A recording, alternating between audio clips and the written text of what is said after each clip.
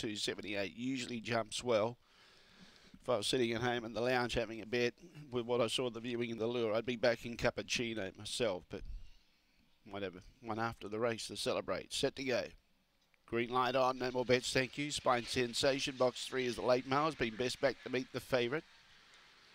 Away in racing, Mr. Kick Cappuccino. It's got some work to do. It's trying to stoke up, but out in front is Spine Sensation. Cappuccino, the only danger. Three lengths away and trying to bridge the gap. Behind those was Sampras out wide. Then in turn underneath it, going with it was Rhinestone Teddy. Winnipeg Jegs a long way back with Marine Iceland, Maxworthy and Harvey Spectre. In front, Spine Sensation is holding on. Spine Sensation beat Cappuccino. Third was Rhinestone Teddy and Sampras making ground late.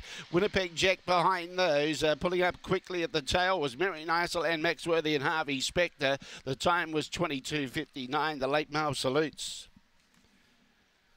Spine Sensation wanted at the start. Three beats eight and two. Three, eight, two and five. They got a pretty penny there out of Spine Sensation. A Black Dog, August 2015. Solved the puzzle out of Enid's Charm. Race by